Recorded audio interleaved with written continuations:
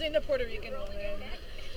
Alright, I, I, I know, I know, I know. Me How, gusta seguir así, como que estoy en la how you say uh, fuck in, in, in Spanish? Jodete. That, that, that, that doesn't sound too bad. What? what? Is that bad? Is it, is it better than It's than fuck? fantastic. No, it's, it's really an expression of Oh, fuck.